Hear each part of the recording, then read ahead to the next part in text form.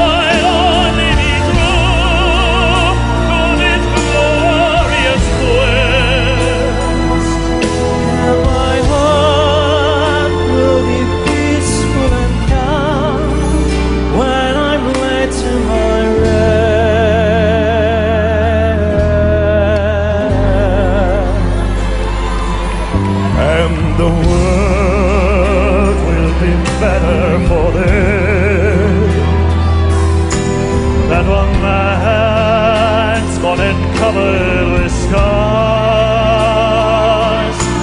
Still strong in his last ounce of courage.